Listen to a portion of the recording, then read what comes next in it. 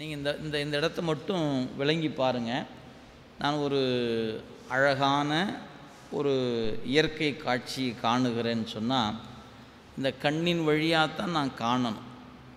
அப்படி கண் அப்படி பார்க்கும்போது என்னுடைய கண் காணும்போது என்னுடைய ஆன்மா என் உயிர் அந்த கண் கூடவே நிற்கணும் அப்படி நின்று அது வேற இது வேறல்ல நான் வேறல்ல ரெண்டும் ஒன்றாயிரணும் கண் பார்க்கும்போது கண் பார்த்து கொண்டு இருக்கிறது நம்ம வேறு வேலையை பார்ப்போம் அப்படின்னு உயிர் வேறு வேலையை பார்ப்பதில்லை. கண்ணோடு கூடி கண்ணே ஆக நிற்கிது. கேட்கும்போது செவியோடு கூடி செவியே ஆக நிற்குது. எனவே அந்த கருவிகளோடு கூடுகிற உயிர் வேறுபாடு இல்லாமல் அது ஒன்றாகவே ஆகிவிடு அதான் ஒற்றித்து காணின் அப்படின்னு சொன்னார். அப்படி ஒற்றித்து கண்டால் அன்றி அதுக்கு என்ன நிகழாது? அறிகின்ற அறிவுத்திறன் நிகழாது. எனவே மெய்வாய்க்கண் மூக்குச் செவி ஆகிய ஐம்பொறிகளுடன் ஆன்மா ஒன்றி நின்று அறிந்தால் மட்டுமே பொறிகள் உலகப் பொருளை அறியும். இல்லாவிட்டால் அறிய மாட்டா. எனவே கண் தானாக காணாது செவி தானாக கேட்காது. அதனோட ஆன்மா கூடி நிற்கணும். அது எப்படி நிற்கணும்? ஒற்றித்து காணின் ஒ- அது வேறல்ல நான் வேற அல்லன்னு பிரிக்க முடியாமல் நின்னாதான் இந்த கருவியின் செயல்பாடு செயல்படும் அப்படிங்கிறத மேற்கோள் ஏது ரெண்டு சொல்லிட்டார். இனி இதுக்கு எடுத்துக்காட்டின் வழியாக சொல்லுகிறார். பாருங்க எடுத்துக்காட்டு வெண்பா. ஐம்பொறியை ஆண்டு அங்கு அரசராய் உளம் நிற்ப ஐம்பொறிகள் உள்ளம் அறியாவாம். ஐம்பொறியின் காணாதேல் காணாது காணும் உளம் காணாதேல் காணா கண் கேளா செவி. இந்த பாட்டில் என்ன சொல்கிறாரு அப்படின்னு கேட்டிங்கன்னா ஐம்பொறியை ஆண்டு. இந்த கண்ணு காது மூக்கு இந்த அஞ்சுக்கு ராஜா யாருன்னு கேட்டால் நாம. ஆனால் நாம் என்ன பண்ணுறது தெரியுங்களா? இவங்கள ராஜாவாக்கிக்கிட்டு நாம் வேலைக்காரன் ஆகிட்டோம் அது சொல்கிற பேச்சைத்தானே நாம் கேட்குறோம். எனவே ஐந்து பேரும் அரசன் போல் உட்கார்ந்துக்கிட்டு நம்மகிட்ட உட்காந்துக்கிட்டு அவங்க என்ன பண்ணுறாங்க ஏவல் செய்ய. நம்ம அதன் போக்கில் போகிறோம் அப்படி போகாமல் இங்கே வா இதை பாரு இதை கேளு அப்படின்னு இது இந்த கருவிகளை அடக்கி ஆளுவது அல்லாது நாம் என்ன பண்ணிட்டோம்? அதன் போக்கில் விட்டுட்டு அப்புறம் அது பின்னாடியே போயிட்டுருக்கோம் அதான் சொல்கிறார் உள்ளம் ஆன்மா. ஐம்பொறியை ஆண்டு ஐம்பொறிகளையும் அவற்றுக்குரிய புலன்கள் மேல் செல்லுமாறு ஏவி.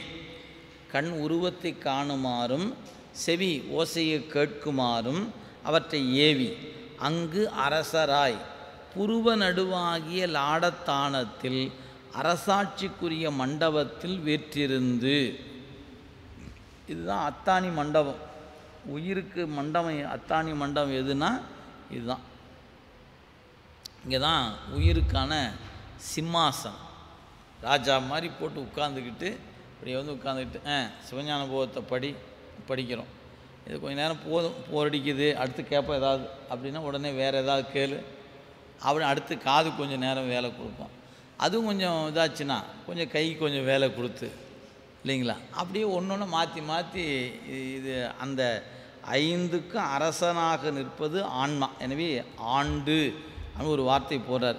ஐம்பு ஆங்கு அரசராய். எனவே புருவ நடுவாகிய லாடத்தானத்தில் அரசாட்சிக்குரிய மண்டபத்தில் வீற்றிருந்து ஏவலாளர்களை அவரவர்க்குரிய பணிகளில் ஏவிவிடும் மன்னனைப் போல நிற்ப இருத்தலால் ஐம்பொறிகள் உள்ளம் அறியாவாம். இப்போ இது வரைக்கும் உங்களுக்கு அரசனை போலன்னு புரிஞ்சிருக்கும். அதுக்கு அடுத்து பாருங்கள் ஐம்பொறிகள் அறியாவாம். ஏன் அப்படின்னு கேட்டால் இந்த ஐம்பொறிகள் அறிவற்றது. எனவே அது தன்னை செலுத்துகிற ஆன்மா அறியாது. எனவே ஐம்பொறிகள் அவ் ஐம்பொறிகள் தம்மை செலுத்தும் ஆன்மாவை அறிய மாட்டா. ஏன்? ஐம்பொறிகள் காணாதேல் ஆன்மா ஐம்பொறி வழியாக அறியாது ஆயின் காணாது. இப்போ நமக்கு காணணும்னா கண்ணு வேணும். கேட்கணும்னா செவி வேணும். நீங்கள் நல்லா நினைவில் வைத்துக்கொள்ளுங்கள் இந்த வரி மட்டும் நான் மீண்டும் ஒரு முறை படிக்கிற பாருங்கள் அதாவது ஆன்மா ஐம்பொறிகள் வழியாக அறியாதாயின் காணாது ஒன்றையும் அறியாது. காணும் உளம் காணாதேர். அறியும் தன்மையுள்ள ஆன்மா பொறியுடன் ஒற்றித்து நின்று அறியாதாயின். கண் காணா செவி கேளா. கண்கள் காண மாட்டா செவிகள் கேட்க மாட்டா ஐம் ஆன்மாவும் ஐம்பொறியும் ஒன்று மற்றொன்றை இன்றியமையாதன என்பது புலனாகிறது. அரசராய் அரசரை போல. கண் செவி என்பது சாதி ஒருமை அப்படின்னு இலக்கண குறிப்பு கொடுத்துருக்கிறார். இப்போ நீங்கள் பார்த்தீங்கன்னா உயிர் என்பது தனிப்பொருள். இந்த கண்ணு காது மூக்கு வாய் என்ற பொருள் தனிப்பொருள். இந்த ரெண்டும் இதுக்கு அது வேணும் அதுக்கு இது வேணுங்க. அப்படி ரெண்டும் சேராமல் என்ன செய்ய முடியாது? இயக்கம் இல்லை. ஏன்னு கேட்டால் கண் உருவத்தை காணணும் அப்படின்னா உயிர் என்ற பொருள் கண்ணோடு கூடி நின்னா தான் உருவத்தை காணும் செவி கேட்கணும்னா உயிர் செவியோடு கூடுனா தான் கேட்கும் அப்போ இந்த உயிர் என்ற பொருளுக்கு எது தேவைப்படுதுன்னா காண்பதற்கு கண் கேட்பதற்கு செவி நுகர்வதற்கு மூக்கு அப்படி அஞ்சு தேவைப்படுது. இந்த உயிருக்கு. அப்போ இங்கே அறிதல் என்ற ஒன்று காணுதல் என்ற சொல்லுக்கு என்ன பேருங்க? அறிதல் என்று பெயர். ஆன்மா காணாதேல் அப்படின்னு சொன்னால் பாருங்க. இங்கே காணாது என்பதுக்கு கண்ணின் வேலையை மட்டும் நினச்சிக்கூடாது என்ன நினச்சிக்கணும்?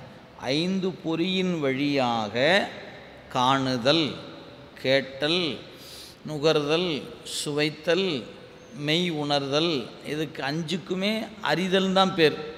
அப்போ காணுதல் என்ற சொல்லுக்கு இடத்துக்கேற்ப பொருள் செய்யணும்.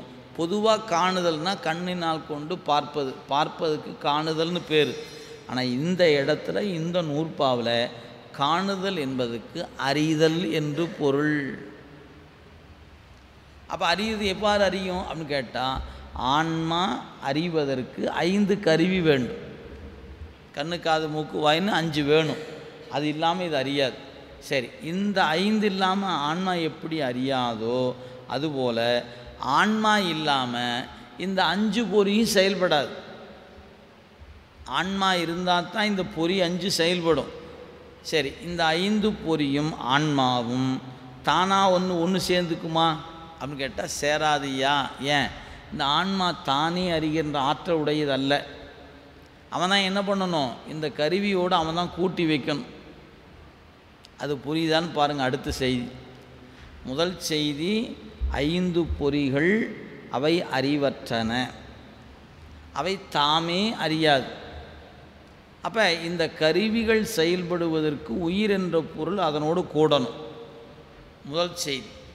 ரெண்டாவது செய்தி உயிர் என்ற பொருளுக்கு ஐந்து பொறிகள் இருந்தால் தான் அறிய முடியுமே அன்றி பொறிகளை விடுத்து உயிர் அறியாது. ரெண்டாவது மூணாவது செய்தி என்னன்னு கேட்டால் சரிப்பா இந்த கருவி தான் அறிவதற்குன்னு துணையாக இருக்கிற கருவி ஆகிப்போச்சு அது ஆன்மா அது தானே அந்த கருவியோடு கூடி இன்றைக்கி என்னென்ன அறிவு இன்னென்ன கண்ணின் வழியாக அறியது செவிலியை கேட் இப்படி அதுவே தனக்கு விருப்பமானதை அந்த கருவியோடு கூடி நின்று தானே அறிந்து கொள்ளுமா? அப்படின்னு கேட்டால் தானே அறிகிற ஆற்றல் ஆன்மாவுக்கு தான் இல்லையே. அது மூணாம் நூற்பால் படித்தோம் உணர்த்த உணர்தலின். அது தானாக உணரக்கூடிய பொருள் இல்லை உயிர். அப்போ இந்த உயிர் இன்று எதை அறிவது? இன்னைக்கு எதை அறிவது? அப்படின்னு யார் தீர்மானிக்கிறா? சிவபெருமான் தீர்மானிக்கிறார். அப்போ அவனாக பார்த்து நமக்கு இன்றைக்கி இதை அறிய வேண்டும் என்று கொடுத்தானா தான் அறிய முடியுமே அன்றி. அவன் நமக்கு அந்த உதவியை செய்யலைன்னா நம்ம என்ன பண்ண முடியாதுங்க? அந்த அறிதல் என்ற செய்தி இன்றைக்கி நடக்காது. அது எது போலன்னு கேட்டால் கண்ணு பார்க்கணும் ஆனால் பார்ப்பதுக்கு உயிர் அது கூட நிற்கணும் செவி கேட்கும் ஆனால் அதனோடு உயிர் கூட நின்னா தான் கேட்கும் அது மாதிரி தான் உயிர் தான் அறிவது. இங்கே காணுதல் என்பதற்கு அறிதல்னு பேர். அப்படி அறிவதற்கு இந்த உயிருக்கு யார் தேவைப்படுகிறா?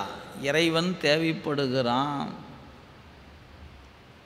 கண் முதலான கருவிகளுக்கு எப்படி உயிர் இன்றியமையாததோ அதுபோல உயிருக்கு இறைவன் இன்றியமையாதவன். அப்படி காட்டுறவன் எப்படி காட்டுவான் அப்படின்னு கேட்டால் ஒவ்வொரு உயிர் செய்த வினைக்கு ஏற்பத்தான் காட்டும்.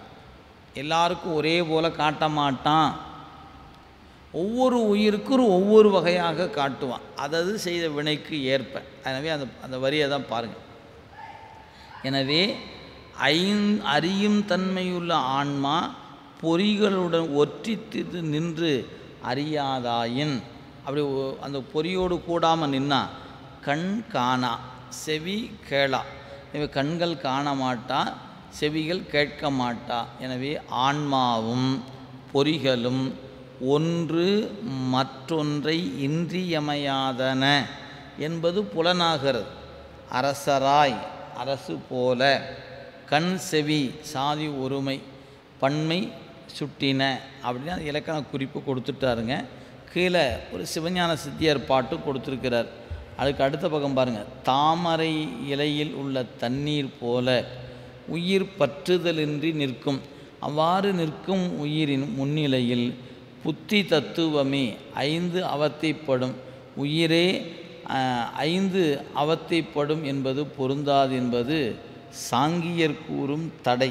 இந்த தடையை நீக்கி இங்கே உயிருக்குத்தான் அந்த அவத்தை என்பதை எடுத்து காட்டியிருக்கிறாருங்க ஆசிரியர். எனவே இங்கே சொல்லப்பட்ட தடை என்ன அப்படின்னு கேட்டால் சாங்கியர்கள் என்று சொல்லப்பெறுகிறவர்கள் என்ன குறிப்பிடுகிறாங்க அப்படின்னு கேட்டால் அவங்க கோட்பாட்டை இந்த இடத்துல எடுத்து காட்டுகிறார். எனவே தன்னில தாமரையில் இலையில் உள்ள தண்ணீர் போல உயிர் பற்றின்றி நிற்கும் அவ்வாறு நிற்கவே நிற்கும் உயிரின் முன்னிலையில் புத்தி தத்துவமே ஐந்து அவத்தைப்படும். உயிரே ஐந்து அவத்தைப்படும் என்பது பொருந்தாது என்பது சாங்கியர்கள் சொல்லுகிற கூற்று. எனவே உயிர் தான் அவத்தைப்படும் என நிரூபிப்பதற்காக இந்த முதற்கூற்றை ஆசிரியர் எடுத்துக்கொண்டு காட்டியிருக்கிறார். இனி இரண்டாம் கூறுங்க. அப்போ இந்த முதற்கூட்டில் என்ன நம்ம படித்தோம் அப்படின்னா கருவி உயிர். இந்த கருவிகள் தம்மை அறியாது. தன்னை செலுத்துகிற ஆன்மாவை அறியாது. இது அதுக்குரிய செய்தி. அதுபோல் ஆன்மாவுக்கு வந்தீங்கன்னா ஆன்மாவும் தன்னை அறியாது இருக்கிறது. தன்னை செலுத்துகிற முதல்வனை அறியாது நிற்கிறது. அப்போ இங்கே உப அந்த வகையில் கருவிகள் செயல்படும் பொழுது ஆன்மா அதன் கூட இருந்து செலுத்துது. கண்ணை செலுத்தத்தான் காணுகிறோம். செவியை செலுத்தத்தான் கேட்கிறோம். எனவே அவ்வாறு செலுத்தி அறிவது ஆன்மா அப்படின்னு படித்தவங்க இனி இந்த முதல்வனுடைய உதவி என்ன என்பதை ரெண்டாம் கூறில் சொல்கிறாரு அதை அப்படியே நீங்கள் பார்க்கலாம். எனவே இரண்டாம் கூறு என்று எடுத்துக்கொண்டால் இது தமது முதலாளி அது பாருங்கள் மேற்கோள் பாருங்கள் இனி இதுவும் தமது முதலாலே உணரும். அதுக்கு என்ன பொருள்? இப்பொழுது இந்த ஆன்மாவும் தம்முடைய முதல்வன் திருவருளாலே உணரும் என்பதாகும். ஐம்பொறிகள் தமக்கு ஒரு முதலை உடைய ஆதல் போல அஞ்சு கருவிக்கு தலைவனாக இருப்பது உயிர். அதுபோலவே ஆன்மாவும் தனக்கு ஒரு முதலை உடையது என்பது கருத்து. இந்த அஞ்சு பொறிக்கு தலைவனாக இருப்பது உயிர். அதுபோல் உயிர் கூட்டத்துக்கு ஒரு தலைவன் இருக்கிறான் அப்படின்னு சொல்கிறார் இனி மேற்கோளுக்கு அடுத்து ஏது சொல்ல பாருங்க. இவ் ஆன்மாக்கள் தன்னாலே உணரும் இந்திரியங்களைப் போல தானும் தன்னை உணராது நிற்றலான். எனவே இவ் ஆன்மாக்கள் தன்னாலே உணரும் இந்திரியங்களைப் போல. இப்போ க ஆன்மா என்ற உயிர் கண்ணோடு கூடி நின்றா இந்த கண் உருவத்தை காணுது. அப்போ இந்த இந்திரியம் என்பது கருவிகள். இந்த இந்திரியம்னா எப்படி? ஆன்மா அதனோட கூட இருந்தால் தானே செயல்படுகிறது அதான் சொல்கிறார் ஆன்மாவால் பொருள்களை அறியும் ஐம்பொறிகள் தம்மையும் அறியா. தம்மை செலுத்தும் ஆன்மாவையும் அறியா. கீழே விளக்கம் பார்த்துக்கொள்ளுங்க ஏதுவின் பொருள். இங்கே தன்னாலே உணரும் இந்திரியங்களைப் போல தானும் தன்னை உணராது என்பது மேற்கோளுக்கு அடுத்திருக்கிற ஏது. அதுக்கு பொருள் என்னன்னு கேட்டால் ஆன்மாவால் பொருள்களை அறியும் ஐம்பொறிகள் தம்மையும் அறியா தம்மை செலுத்தும் அந்த ஆன்மாவையும் அறியா. அதுபோலவே இறைவனால் பொருள்களை அறியும் ஆன்மாக்கள் தம்மையும் அறியா தம்மை செலுத்துகின்ற முதல்வனையும் அறிய மாட்டா அப்படிங்கிறத ஆசிரியர் இங்கே கொடுத்துருக்கிறாருங்க. இதற்கு ஆசிரியர் சில எடுத்துக்காட்டு ஏறத்தால் பார்த்தீங்கன்னா மூன்று எடுத்துக்காட்டு கொடுத்துருக்கிறாரு. அதில் முதல் எடுத்துக்காட்டு பாருங்கள் ரொம்ப நல்ல பாட்டு அந்த பாட்டு. இந்த சிவபெருமானை அவனுடைய கருணையை சொல்லுகிறார். இந்த வெண்பால. மண்ணு சிவன் சன்னதியின் மற்ற உலகம் சேட்டித்தது என்னும் மறையின் இயல் மறந்தாய். சொன்ன சிவன் கண்ணா உளம் வினையால் கண்டறிந்து நிற்கும் கான் எண்ணான் சிவன் அசத்தை இன்று. இந்த பாட்டில் அந்த சிவன் சிவன் அப்படிங்கிற சொல்ல எடுத்திருக்கிறாரு. சொன்ன சிவன் மண்ணு சிவன் அப்படின்னு அந்த சிவத்தை சொல்லுகிறார். எனவே மண்ணு சிவன் சன்னதியின் மற்ற உலகம் சேட்டித்தது என்னும் மறையின் இயல் மறந்தாய். இந்த உ- உலகம் எவ்வாறு தோன்றியது எவ்வாறு செயல்படுகிறது அப்படின்னு கேட்டினா இறைவன் முன்னிலையில் தோன்றி நின்று இது செயல்படுகிறது. இது உனக்கு இன்னுமா தெரியல அப்படின்னு கேட்குறார். பாருங்கள் உரை பாருங்கள் மண்ணு சிவன் பேரின்பத்துக்கு காரணமாய் நிலை பெற்ற இறைவன்.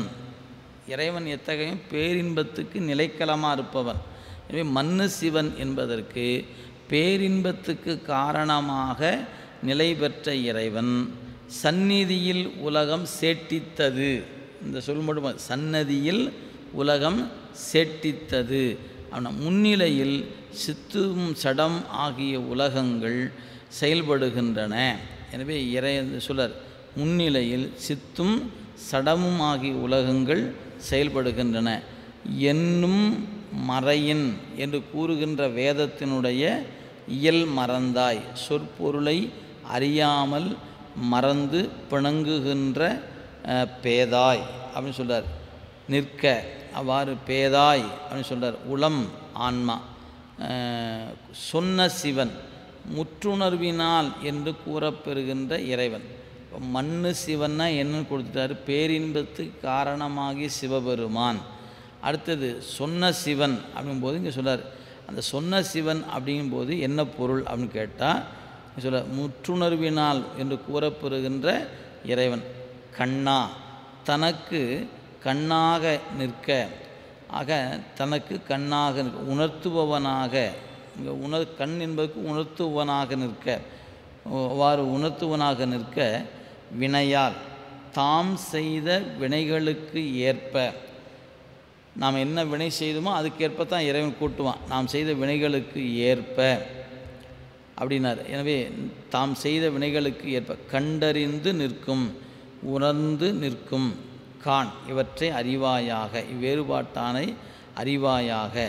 எனவே சிவன் என்பதற்கு மங்கள வடிவனன் என்று பொருள். சீவன் அசத்தை எண்ணான். அசத்தாகிய உலகப் பொருளை அனுபவி சி- சிவபெருமான் அசத்தாகிய உலகத்தை அறிய மாட்டான் என்று அசத்தாகிய உலகம் இறைவன் முன்பு வேறாக விளங்கி தோன்றுதல் இல்லை அப்படிங்கிற செய்தியை இந்த வெண்பாலை கொடுத்துருக்கிறாருங்க. எனவே இந்த வெண்பாலை இறைவனை மண்ணு சிவன் என்றும் சொன்ன சிவன் என்றும் எண்ணான் சிவன் என்றும் மூன்று குறிப்பு கொடுத்துருக்கிறாரு. அதுக்கான விளக்கம் கீழே இருக்குது நீங்கள் பார்த்துக்கொள்ளலாம். இவ்வாறு இறைவனை சொன்ன பிறகு அடுத்த பாட்டை சொல்லார் இந்த இறைவன் சன்னதியில் உயிர்கள் செயல்படுகின்றன அப்படிங்கிறத அடுத்து எடுத்துக்காட்டு சொல்ல பாருங்க வெய்யோன் ஒளியில் ஒடுங்கி விளங்காது வெய்யோனே ஆகாத மீன் போல மெய்ய வா மெய்ய மெய்யவனில் கண்டு கேட்டு உண்டு உயிர்த்து உற்றறியும் ஐம்புலனை கண்டு உடனாய் மண்ணுதலை காண். இந்த பாட்டில் சூரியனுடைய வெளிச்சத்தில் வெய்யோன் ஒளியில் ஒடுங்கி விளங்காது மெய்யோனை ஆகாத மீன் போல. மீன் என்பது நட்சத்திர கூட்டம். ஆ- ஆகாயத்தில் பார்த்தீங்கன்னா ஏகப்பட்ட நட்சத்திரம் தெரிகிறது. பகலில் காணும் பொழுது சூரிய வெளிச்சம் மட்டுமே தெரியுது. அத்துணை நட்சத்திர ஒளிகளும் சூரிய வெளிச்சத்தோடு கூடி நமக்கு ஒரு ஒரு பொருள் போல ஒரு வெளிச்சம் போல தருகிறது. ஆனால் உண்மையில் நம்ம இந்த சூரியனுடைய வெப்பம் அந்த வெளி வெளிச்சம் காரணமாக இந்த நட்சத்திர கூட்டங்களுடைய ஒளியானது தனித்து தெரியாமல் அதனோடு கூடி அதுவாகவே தெரியுது. இதான் இங்கே சொல்லியிருக்கிறாருங்க. பாருங்கள் அப்படியே அதுக்கான விளக்கத்தை பாருங்க. வெய்யோன் ஒளியில் ஒடுங்கி விளங்காது வெய்யோனை ஆகாத மீன் போல. வெய்யோன் சூரியன். அப்படி பாருங்க. வெய்யோன் ஒளியில் ஒடுங்கி சூரிய ஒளியில் அடங்கி விளங்காது. சூரியனின் வேறாக விளங்கி நில்லாமல் இப்போ நம்ம இந்த வெளிச்சத்தில் இந்த வெளிச்சம் போய் சேருது. சூரிய வெளிச்சம் வேற இந்த விளக்கின் வெளிச்சம் வேற என்று பிரித்து பார்க்க முடியாமல் போய் நிற்கிது அதான் விளங்கா. சூரியனின் வேறாக விளங்கி நில்லாமல் வெய்யோனை ஆகாத அந்த சூரியனே ஆகமா அந்த சொல்லார் அச்சூரியனே ஆகாமல் மீன் போல் விண்மீன்களைப் போல கண்டு கேட்டு உண்டு உயிர்த்து உற்று அறியும் ஐம்புலனை கண்டும் கேட்டும் உண்டும் உயிர்த்தும் தொட்டும் உணர்வின்றி ஐம்புலன்களை அஹ், மெய்யவனைக் கண்டு மெய்ப்பொருளாகிய முதல்வினால் ஆன்மா உணர்ந்து உடனாய் மன்னுதலை வேறாதலும் ஒன்றாதலும் இல்லாமல் அவனுடன் உடனாக சொல்ல உடனாக நிலை பெறுதலை காண் அறிவாயாக என்று இதுக்கு ஒரு எடுத்துக்காட்டு சொல்லியிருக்கிறாருங்க. இவ்வாறு அந்த இறைவன் ஆன்மா விளங்குவதற்கு இறைவன் இன்றியமையாதவன் அப்படிங்கிற செய்தியை நமக்கு புரிய வைப்பதற்காக இவ்வாறு இறைவன் ஆன்மாக்களுக்கு அறிவு விளங்குவதற்கு ஐம்பொறிகளையும் அந்த கரணங்களையும் அவன் கூட்டி வைக்கிறான். அவ்வாறு கூட்டி வைத்தாலும் கூட ஆன்மாவுக்கு அறிவு என்பது உடனே நமக்கு என்ன ஆவதில்லைங்க? விளங்கி தோன்றுவதில்லை வெளிப்படுவதில்லை. அப்படி வெளிப்படாத நிலையில் திருவருள் உணர்த்துதல் வேண்டும். அந்த சிவசக்தியே நமக்கு என்ன ஆகணும்? சக்தி பதிக்கக்கூடிய வண்ணமாக வந்து ஆன்மாவுக்கு அருள்பாலிக்க வேண்டும் என்பது இந்த நூற்பாவில் மறைந்து கிடக்கக்கூடிய செய்தியாகும். ஏன்னா நாம் எவ்வளவு அறிந்தாலும் நம்ம அறிவுக்கு அவன் என்ன பண்ணிடுவான்? அப்பாற்பட்டு நிற்பதனால அவனை நம்ம அவன் அருளை விடுத்து அறிதல் இயலாது அப்படின்னு கொடுத்துட்டாருங்க. இனி மூன்றாவது வின்பா பாருங்க. அருள் உண்டாம் ஈசர்க்கு அது சத்தியன்றே. அருளும் அவனன்றி இல்லை. அருள் இன்று அவன் அன்றே இல்லை. அருள் இன்று அவன் அன்றே இல்லை. அருக்கண்ணால் க அருக்கண்ணார் கண்ணுக்கு இரவி போல் நிற்கும் அரண் ஏய்ந்து இந்த பாட்டில் முக்கியமான ஒரு சொல் தொடருங்க. ஆசிரியரே அதுக்கு விளக்கம் கொடுத்துருக்கிறாரு. அருள் உண்டாம் ஈசர்க்கு. சிவபெருமானுக்கு அருள். இந்த அருள்னா என்ன? இரக்கம் அப்படின்னு பேர். அருள்ங்க அப்படிங்க உரை பார்த்தீங்கன்னா அடுத்த பக்கத்தை கொடுப்பார் பாருங்க. அருள் ஆன்மாக்களை உய்விக்க வேண்டும் என்ற இரக்கம். அவனுக்கு ஒரே கருத்துங்க. என்ன கருத்து? நாமெல்லாம் உய்யணும். அவனுக்கு அந்த நினைப்பு இருக்குது. இந்த சாமிக்கு எப்போங்க வந்துச்சு நினைப்பு? இப்போ நாம் இருக்கிறோம். ஒரு சாமி இருக்கிறாரு போகிறோம் இந்த இறைவனை எப்போ பார்த்தீங்க ரொம்ப நாளாக கோயிலுக்கு வந்துட்டுருக்குறோங்க அவர் மேலே எப்போ உங்களுக்கு அம் அன்பு வந்துச்சு? ஏதாவது ஒரு வேண்டுதல் அதை கேட்டேன். இந்த சாமி நிறைவேற்றி கொடுத்து அன்னையிலேருந்து சாமி பார்க்காம இருக்கிறது இல்லைங்க. இப்போ நமக்கு சொல்ல தெரியுது. இன்றைக்கி தான் அவரை பார்த்தேன். இன்னையிலேருந்து தாங்க போயிட்டுருக்கிறேன் அப்படின்னு ஒரு கணக்கு சொல்லிடலாம். தைப்பூசம்னா போவேன் கிருத்திகைனா போவேன் அவன் பிரதோஷம்னா போவேன். எப்போ இருந்து போகிறீங்க ரெண்டாயிரத்துலேருந்து போயிட்டுருக்குறேனுங்க இப்போ நாம் சொல்ல தெரியுதில்லவா அது மாதிரி இப்போ இறைவன் இருக்கிறான் நாம் இருக்கிறோம். அவனுக்கு நம்ம மேலே ஒரு கருணை இருக்கிறது. அந்த இரக்கம் என்பது. அந்த இரக்கம் எப்போ இருந்துங்க இருக்குது? அவன் கேட்டான். அவன் என்னைக்கு இருந்தான்னா அன்னையிலேருந்து இருக்குதுயா அவனுக்கு இருக்கிற இரக்கம் என்பது இடையில் வந்ததல்ல. அவன் கூடவே இருக்கு அப்போ உயிர்கள் மீது அவன் காட்டுகிற இரக்கம் என்பது எதாச்சியாக வருவதல்ல அல்லது ஒரு விபத்தின் வழியாக வருவதல்ல அது அவனுக்கு இயல்பு.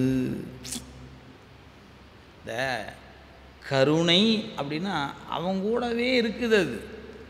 அது அவன் அவங்க அவங்ககிட்ட வந்து அவ- அவன்கிட்ட தான் உற்பத்தியே ஆகிறது. அவன் இல்லாமல் அந்த கருணை இல்லை. அதனால தான் அந்த சொல்ல இங்கே பயன்படுத்துகிறாங்க அருள் உண்டாம் ஈசர்க்கு. அந்த அருளுக்கு என்ன பேர்? சக்தின்னு பேர். அது சக்தி. அந்த சக்தி எப்பையா இருக்குது? அன்றே. இந்த அன்றே என்பதை பிடிச்சிக்கிட்டாருங்க. இறைவன் என்று இருந்தானோ அன்றே அவனுக்கு இரக்கம் இருந்தது. அப்போ இந்த சாமி என் மேலே எப்போ இறக்கம் கொண்டாரு? அப்படின்னு நான் கேட்டேன்னா அவன் இருந்த நாள்லேருந்து நானும் இருந்தேன். நீங்கள் நீங்கள் சைவ சித்தாந்தம் படித்த ஒன்று நல்லா தெரிஞ்சுக்கணும். என்று இறைவன் இருந்தானோ அன்றே உயிர்கள் இருந்தன. என்று உயிர்கள் இருந்ததோ அன்றே அதனோடு பாசமும் இருந்துச்சு. இதுதான் சைவ சித்தாந்தத்தினுடைய பேஸ் இந்த அடிப்படை இல்லாமல் நீங்கள் சைவ சித்தாந்தம் விளங்காது. அப்போ இறைவன் இயல்பாகவே பாசத்தை விட்டு நீங்கி நின்னா நாம் இயல்பாகவே பாசத்தோடு கூடி நின்னோம். இந்த பாசத்தோடு இருக்கிற உயிருக்கு இறைவன் மீது இரக்கம் இருந்தது. அந்த இரக்கம் எப்போது வந்துச்சுன்னு கேட்டால் என்றைக்கு உயிர் இருந்துச்சோ அன்னைக்கே இருந்துச்சு. அப்போ நீங்கள் நினச்சி பாருங்கள் நான் தான் இந்த சாமியை பார்க்கறக்கு ஒரு டேட் தெரியுது எனக்கு. நான் பிறந்தது ஒரு நாள் அப்புறம் வளர்ந்து வந்தது ஒரு நாள் அப்புறம் எதாச்சியாக ஒரு நாள் அந்த பக்கம் போனேன். இது என்னையான்னு இதை ஒரு கோயில்னு சொன்னாங்க. அவர்களும் போய் பார்த்து அந்த சாமி இருந்துச்சு. அப்புறம் இந்த சாமி மேலே வந்து முதல்ல சக்கரை பொங்கலுக்கு போயிருப்போம் ஒரு சுண்டலுக்கு போயிருப்போம். அப்புறம் மெல்ல போய் இந்த சாமி மேலே ஒரு அன்பு வந்துச்சு. அப்படின்னு எனக்கு இறைவன் மீது வந்த அன்புக்கு ஒரு நாள் சொல்ல முடியும். ஆனால் அவன் என் மேலே காட்டின அன்பை அவன் என்னைக்கு காட்டுனான்னு கேள்வி கேட்டா ஐயோ சொல்ல முடியாதியா? என்னைக்கு நாம் இருந்தோமோ அன்னைக்கே அவன் நம்ம மேலே அன்பு கொண்டு இருந்தான் அன்னைக்கே அவன் நம்ம மேலே என்ன கொண்டு இருந்தான் இரக்கம் கொண்டு இருந்தான் அப்போ அவன் நம்ம மேலே அன்பு கொண்டதுக்கு நாள் சொல்ல முடியாது. ஆனால் நாம் சொ வைக்கிற அன்புக்கு வேணால் ஒரு நாள் சொல்ல முடியுது. இந்த உண்மை புரியும் போதே நம்ம நெஞ்சில் ஆகா இந்த சாமி நம்மளை பார்த்துக்கிட்டே இருந்திருக்கிறாரு. நாம தான் இன்னைக்கு அவரை பார்க்க நினச்சி பாருங்களேன். அவன் நம்மை நோ பார்த்து கொண்டே இருக்கிறான். என்ன பண்ணுறான் ஏது பண்ணுறான் எங்கே உட்காரான் போகிறான் வரான் நடக்க எல்லாத்தையும் பார்த்துட்டே இருக்கிறார். நாம் அவரை பார்க்கவே இல்லை. நாம் திடீர்னு ஒரு நாள் பார்க்குறோம். பார்த்தோன்னே ஆகா அவர் மேலே ஒரு அன்பு வந்துச்சு. அன்னையிலேருந்து தான் எனக்கு அவரை பா இங்கே வந்து பார்த்தா வந்துட்டாரா? அப்படின்னு நான் பார்க்குறேன். ஏன்னா அவர் அன்னைக்கு தான் எனக்கு தெரிஞ்சுது அப்படின்னு. ஆனால் அவன் நான் என் நான் அவனை பார்ப்பதற்கு முன்பே என்னை பார்த்தவன் அவன் அல்லவன் அதனால் அந்த இரக்கம் என்பது இறைவனுக்கு எப்போதும் உண்டு. அந்த இரக்கம் எப்போ வந்துச்சுன்னு கேட்டிங்கன்னா அவன் என்னைக்கு இருந்தானோ அன்னைக்கே உண்டு. நான் என்னைக்கு இருந்தேனோ அன்னைக்கே உண்டு. எனவே சாமி என் மேலே இறக்கம் காட்டல என் மேலே இறக்கம் காட்டலன்னு தானே பேசுகிறோம் நாம். சாமிக்கு என் மேலே என்னைக்குங்க இறக்கம் வருவது? சாமிக்கு கண்ணே இல்லையே. அப்படின்னு நினச்சி தானே உட்காந்துட்டு இருக்கிறோம். ஆனால் நம் மீது இறக்கம் கொண்டது அன்றே. இதுதான் புரியலைங்க. இந்த பாட்டு புரியலைங்கிறத விட இந்த சாமி நம்ம மேலே கொண்ட இறக்கம் புரியாமல் தானே உயிர் கிடக்குது? தத்தளிச்சிட்டு கிடக்குது. இந்த சாமி நம்ம மேலே கொண்ட அன்பை உணர்ந்து கொள்ள முடியாமல் கிடக்கிறவங்க. பாருங்க அப்படி உரை பாருங்க. அருள் ஆன்மாக்களை அருள்னா என்ன? ஆன்மாக்களை உய்விக்க வேண்டும் என்ற இரக்கம். அருள் அருள்னு பேசுகிறாங்களே அருள்னா என்னையா அப்படின்னு ஒரு கேள்வி கேட்டான் ஒன்வர்ட் ஆன்சர் அருள் என்றால் என்ன? அப்படின்னா ஆன்மாக்களை உய்விக்க வேண்டும் என்ற இரக்கம். இப்படி குறித்து வச்சுக்கிட்டிங்கன்னா ஒன்வர்ட் ஆன்சருக்கு பயன்படும். இல்லையா? அருள் என்றால் என்ன? அப்படின்னு கேட்டால் அருள் என்றால் ஆன்மாக்களை உய்விக்க வேண்டும் என்ற இரக்கம். நீங்கள் முழுசாக தெரியுதோ இல்லையா அருள்னா இரக்கம் தெரிஞ்சுக்கிட்டா சரி. அதுக்கு பேர் தான் கருணை. அதனால் கருணாம்பிகை. சின்னதுக்கு நினச்சிக்காதீங்கய்யா பெருங்கருணை நாயகி. கருணைன்னு சொன்னால் போதாதா? அந்த கருணைக்கு அவள் தாங்க நாயகி. நாயகின்னா தலைவி ஆயிட்டாங்க. எந்த கருணைக்கு? பெரும் கருணைக்கு அவள் தான் நாயகி ஐயோப்பா அவ்வளோ பெரிய ஆளாவுங்க. ஆமாயா இந்த கருணைக்கு ஒரு நாயகன் இருக்கிறாயா அவன் தான் அவினாசி அப்பர் அப்போ இதுவும் அதுவும் என்னன்னு பார்த்தா நமக்காகத்தான் ரெண்டாக நிற்கிது அது. அது ரெண்டும் சேர்ந்து ஒன்று தான் ஆனால் நாம் விளங்கி கொள்ளணுமே. அதுக்காக ஒரு தனி பெயர் கொண்டு ஏன்னா இறைவன் கருணைக்கு வடிவம் இல்லை. ஒரு க அந்த இறக்கத்துக்கு க- வடிவம் கிடையாது. ஒரு கால் ஒரு வடிவத்தை கொடுத்தா எப்படி இருக்குன்னு. அவினாசியில் போய் பாரியா அதுதான்யா கருணைக்கு இழக்கம் அப்போ வடிவம் இல்லாத பொருளுக்கு ஒரு வடிவத்தை கொடுத்த எப்படி இருக்குன்னு கேட்டால் இரக்கம் என்பது பண்பு பெயர். அந்த பண்புக்கு ஒரு வடிவம் சொல்ல முடியுமா? சொல்ல முடியாது. ஒரு கால் சொல்லலாம். கொஞ்சம் எனக்கு புரியலைங்க. ஏதாவது ஒன்று சொல்லுங்களேன் அப்படின்னா அவினாசியில் போய் பாரு. அதுதான் இறக்கத்துக்கான வடிவம். அப்போ அப்போ அன்புக்கு ஒரு வடிவம் கண்ணப்பர். அன்புக்கு ஒரு வடிவம் மூர்த்தி நாயனார். அதுபோல் கருணை அப்படின்னா அதுக்கு ஒரு வடிவத்தை சொன்னீங்கன்னா அதுக்கு பேர் சக்தி அதுக்கு பேர் தான் உமையம்மை. அவளுக்கு தான் பார்வதி. நீங்கள் என்ன பேர் வேணால் வச்சுக்கோங்க. முயங்கு பூன்முலை அம்மைன்னு வச்சாலும் சரி. இன்னும் எத்தனையோ தலங்களை எத்தனையோ வகையான பேர் அவங்களுக்கு ஆயிரம் பேர் இறைவனுக்கு ஆயிரம் பேர் போல இறைவிக்கு ஆயிரம் பேர் உண்டு. அத்தனையும் அவனுடைய கருணை. மறந்துடக்கூடாது அப்போ அவனும் அவனுடைய கருணையும். கருணையை உடைய பொருள் எது? சிவம். கருணைக்கு பேர் தான் சக்தி. கருணையை உடையவனுக்கு பேர் சிவம். அப்போ நீங்கள் சைவ சித்தாந்தம் படித்து போட்டு நான் அம்மாவை தனியாக கும்புறேன் அப்பாவை தனியாக கும்புறேன்னு கும்பிட அவளை கும்பிட முடியாது. அம்மா கும்புற இடத்துல அப்பா இருக்கிறாரு அப்பா கும்புற இடத்துல அம்மா இருக்கார். ரெண்டு பேரும் பிரிக்க முடியாது. அதை சாதாரணமாக இருக்கிற மக்கள் விளங்கிக்கிறதுக்காக ரெண்டாக நிற்கிறாங்க அவ்வளோதான் நம்ம இந்த உ- இந்த உணர்வில் நிற்கிறவனுக்கு ரெண்டும் ஒன்று தான் எங்கே நின்னாலும் அது சிவத்தின் சன்னதி தான் எங்கே நின்னாலும் அது சக்தியின் சன்னதி தான் இவ்வளோ தான் விஷயம்ங்க. அப்படியே ஐயா உரை மீண்டும் பாருங்கள் ஆன்மாக்களை உய்விக்க வேண்டும் என்ற இரக்கம். ஈசர்க்கு அன்றே உண்டா.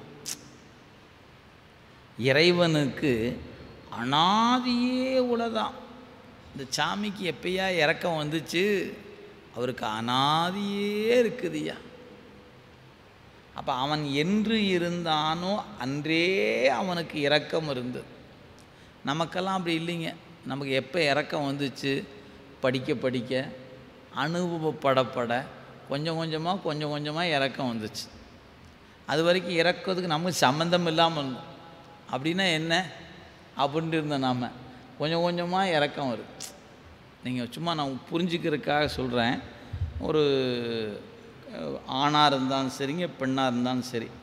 பிறந்து வளர்ந்து வந்தாங்க படித்தாங்க திருமணம் ஆகிற வரைக்கும் எல்லாம் தனக்கு தனக்கு தனக்கு எனக்கு மட்டும்தான் எனக்கு மட்டும்தான் அப்படின்னு இருக்கிற ஆள் கல்யாணம் ஆச்சுன்னா என்ன ஆகும்? அவருக்கும் அல்லது அவளுக்கும். இப்போ ரெண்டு பேர்த்துல யாரோ ஒருத்தரை வச்சுக்கோங்க. இப்போ அந்த அந்த நபரையே வச்சுக்கிட்டிங்கன்னா தன எ- என் ரூமு அப்படின்னு இருந்தால் யாரையும் உள்ளே விட மாட்டார். கல்யாணம் ஆன பிறகு சம்சாரத்தை உள்ளே விடாமல் போகிறா என்ன? அப்போ என்ன ஆகிப்போச்சு அந்த ரூமு ரெண்டு பேர்த்துக்கு ஆகிப்போச்சு இது ஏன் ரூம்னு இருந்தது? ரெண்டும் ஆகிப்போச்சா இல்லையா? சரி யாராவது ஒருத்தவங்க வந்து ஒரு இனிப்பு கொடுத்தாங்கன்னா எனக்கு தான் கொடுத்தாங்க. உனக்கு கொடுக்கல அவங்க. அப்படின்னு சொல்லி விட்ருமா என்ன? இந்த நீ கொஞ்சம் சாப்பிடு. அப்போ இவர் சாப்பிடும் போதெல்லாம் அடலாம் நம்மளை நம்பி ஒரு ஜீவன் இருக்குதே அப்படின்னு நினைக்கிறாரா இல்லையா? ஆனால் அந்த கல்யாணத்துக்கு முன்ன வரைக்கும் அவர் மட்டும்தான் நினச்சார். எதை கிடைச்சாலும் தனக்கு தான் எனக்கு தான் இது. யாருக்கும் கொடுக்க மாட்டேன். அப்போ தான் மட்டுமா இருந்தவர் ஒரு திருமணம் என்று ஆன பிறகு தனக்கு கூட ஒரு ஆள் இருக்குதுன்னு வச்சுக்கிட்டார். ரெண்டாகி போச்சு. அவங்களுக்கு ஒரு குழந்தை பிறந்துச்சுன்னா இந்த சம்சாரத்துக்கு கொடுக்குறாரோ இல்லையோ குழந்தைக்கு கொடுப்பார். இதுவே இந்த குழந்தை வளர்ந்து ஆளாகி நின்று அவனுக்கு ஒரு குழந்தை பொறுத்து வச்சுங்க இந்த ரெண்டு பேர்த்துக்கு கொடுக்குறாரா இல்லையோ பேரனோ பேத்திக்கோ கொடுத்துட்றோம் இப்போ எனக்கு எனக்குன்னு இருந்தது. நீங்கள் சொத்து சேர்த்தல் கூட அப்படித்தானுங்க. எனக்கு எனக்குன்னு சேர்த்தி வச்சு போட்டு கடைசியில் பேரனுக்கு பேத்திக்கு தானே எழுதி வைக்கிறோம். ஏங்க உங்களுக்கே தானே வச்சுக்கிட்டேன். ஆமாப்பா அது இப்போ அது பேரனுக்கு வச்சலான்னு இருக்கிறேன். பேத்தி ஏன் பையனுக்கு பையனுக்கெல்லாம் கொடுக்க முடியாது. இல்லை பேரனுக்கு தான். அப்போ இந்த இறக்க இவருக்கு எப்போ வந்துச்சு? அவனுக்கு ஒரு கல்யாணம் ஆகி அவனுக்கு ஒரு குழந்தை பிறந்த பிறகு வந்துச்சு. அப்போ நமக்கு இறக்கம் எப்போ வருதுன்னு கேட்டால் ஒன்று கல்யாணம் ஆகணும் அப்புறம் குழந்தை பிறக்கணும் அப்புறம் தான் நமக்கு இறக்கம் வருது. சிவபெருமானுக்கு என்னையா எப்பையா இறக்கம் வந்துச்சுன்னு கேட்டால் ஐயோ அந்த சாமி இறக்கத்தின் வடிவமே அந்த சாமி தான்யா கருணையின் வடிவமாச்சே. அதனால பாடுகிற பாட்டு தெரிஞ்ச பாடு கருணையே வடிவமான கந்தசாமி தெய்வமே. முருகனை பாடுற பாட்டில் கூட கருணையே வடிவமான கந்தசாமி தெய்வமே உன் கடலடியை அப்படின்னு பிடிச்சி நான் நம்பி கிடக்கிறேன் பெருமானே. அப்படின்னு வேண்டுறோமா இல்லையா? அப்போ இறைவனுக்கும் கருணை இறைவிக்கும் கருணை முருகனுக்கும் கருணைன்னு தானே பேர் ஏன்னா கடவுள்னா கருணை வடிவமானவன் அர்த்தம். எனவே இறைவன் என்பவன் இரக்கம் உடையவன். அந்த இரக்கம் எப்போ இருந்துச்சு? அன்றே. அவன் என்னைக்கு இருந்தானோ அன்னைக்கே இருக்குது. எனவே அவனுக்கு இரக்கம் இடையில் வந்ததல்ல. ஆனால் நமக்கு இருக்கிற இரக்கமெல்லாம் வந்து வந்து போகுது. வந்த மாதிரியே இருந்தால் பரவாயில்லையே. போயிருதே சில நேரில் அன்னைக்கு பிடிச்சிது அவரை. இன்னைக்கு ஆ அவரை பற்றி பேசாதீங்க. அப்படின்லாம் பேசுகிறோம் அப்போ நமக்கு மாறி மாறி வருது நமக்கு அந்த இரக்கம். ஆனால் அவருக்கு ஒரே தன்மையாக மாறாமல் அப்படியே ஸ்டாண்டர்டாக நிற்கிதுங்க அவருக்கு. இதுதான் அவருக்கும் நமக்குள்ள வேறுபாடு. பாருங்கள் அந்த அப்போ அப்படியே அந்த அந்த அருள் ஆன்மாக்களை உய்விக்க வேண்டும் என்ற இரக்கம். ஈசர்க்கு அன்றே உண்டாம். இறை இறைவனுக்கு அனாதியே உளது ஆம். அதுக்கு என்ன பேர்? அது சக்தி. அந்த இரக்கம் சக்தியாகும். எனவே இரக்கத்துக்கு ஒரு பேர் தான் சக்தின்னு பேர். இது தெரியாமல் சக்தி பெருசாக சிவம் பெருசான்னு சண்டை போட்டு உட்காந்தா என்னத்துக்காக சைவ சித்தாந்தம் படித்து கூட சண்டையிட போட முடியாது. சிவம் பெருசா சக்தி பெருசான்னு கேட்டால் நன்றி வணக்கம் இது நமக்கெல்லாம் சொல்லணும் ரெண்டும் ஒன்று தான் ஐயா. நீ என்னமோ சண்டை போட்டு போ நமக்கு அப்படி இல்லை. ரெண்டும் ஒன்று தான். எனவே அது சக்தி. அந்த இறக்கத்துக்கு பெயர் சக்தியா அடுத்து பாருங்க. அருளும் அவனன்றி இல்லை. அருளும் அவனும் குணமும் குணியும் ஆதலின். இறைவனையின்றி தனியாக இல்லை. அந்த சக்தி என்பது இரக்கம் என்பது அவனை விடுத்து இல்லை. அந்த இரக்கத்தை விடுத்து அவனும் இல்லை. அது எது போலன்னு கேட்டால் பூ இருக்கிற இடத்துல தான் ஏன் வாசம் இருக்கும். வாசம் இருக்கிற இடத்துல தான் பூ இருக்குது. அது போல். இது பேர் குண குணி சம்பந்தன் பேர். குணமும் குணியும். குணத்தை உடையது குணி. குணம். எது குணமோ அதை உடையது எதுவோ அது குணி. அப்படின்னு பேருங்க. இப்போ மலர் அப்படின்னு எடுத்துட்டிங்கன்னா மலருக்குரிய குணம் நாற்றம். நாற்றத்தை உடையது மலர். அப்போ நீங்கள் குணம் எது குணி எதுன்னு கேட்டால் மலர் என்பது குணி மலரினுடைய குணம் என்பது நாற்றம். அப்படி தான் இறைவனுக்கு இறைவிக்கும் இருக்கிற சம்பந்தம். நமக்கு அவருக்கு இருக்க சம்பந்தம் அப்படிப்பட்டதா? அவன் கேட்டால் அப்படிலாம் இல்லை. ஏன்? இந்த பூ இருக்கிற இடத்துல நாற்றம் இருக்கிற மாதிரியே நமக்கு அவருக்கு இருக்கிற பந்தம்? இல்லை. அவர் தனித்திருப்பார் நாமளும் தனித்திருப்போம். ஏன்? நம்மை விடுத்து அவன் நிற்பான். அவன் தனித்து இயங்கக்கூடியவனாக நிற்கிறான். நாம் அவன் இல்லாமல் இல்லை. அவன் அகர உயிர் போல தனித்து இயங்குவான். நாம் அந்த ஆ என்ற எழுத்து எப்படி இல்லாமல் பிற எழுத்து இல்லையோ அதுபோல் நாம் இல்லை. எனவே நமக்கு அவன் துணை இன்றியமையாதது. ஆனால் அவனுக்கு எவன் துணையும் தேவையில்லை. எனவே அவனுக்கும் நமக்கும் இருக்கிற ச தொடர்பு எப்படிப்பட்டதுன்னு கேட்டால் ஐயோ இது இருந்தாமல் அது இல்லை அது இல்லை அப்படிலாம் கிடையாதியா நீ ஓரமாக ஒதுங்கி நின்று பார்த்துக்கலாம் விடு அவன் அவன் எல்லாத்தையும் பார்த்துக்குவான். ஆனால் அந்த சிவமும் சக்தியும் எப்படிப்பட்டதுன்னு கேட்டால் அப்படி இல்லைப்பா. இது இல்லாமல் அது இல்லை அது இல்லாமல் இது இல்லை. ரெண்டும் பிரிக்க இயலாதது. அதான் சொல்கிறார் குணமும் குணத்தை உடைய கு குண குணியும். அதனால் சொன்னார் அதான் எனவே தனியாக இல்லை. அருள் இன்று அவன் இல்லை. அருள் இல்லாமல் அவனும் தனியாக நிற்றல் இல்லை. கண்ணார் கண்ணுக்கு திருவருளால் ஞானக்கண் பெற்றவரின் அறிவுக்கு. யாரெல்லாம் ஞானம் பெற்றிருக்கிறாங்களோ அவங்களுக்கு. திருவருளால். ஞானக்கண் பெற்றவர்களின் அறிவுக்கு அரண் இரவி போல் ஏய்ந்து நிற்கும். இறைவன் சூரியன் தன் ஒளியுடன் பிரிப்பின்றி இயந்து நிற்றல் போல தன் அருட்சக்தியுடன் வேற்றுமை இல்லாமல் தாதான்மையாய் இயந்து நிற்பான்.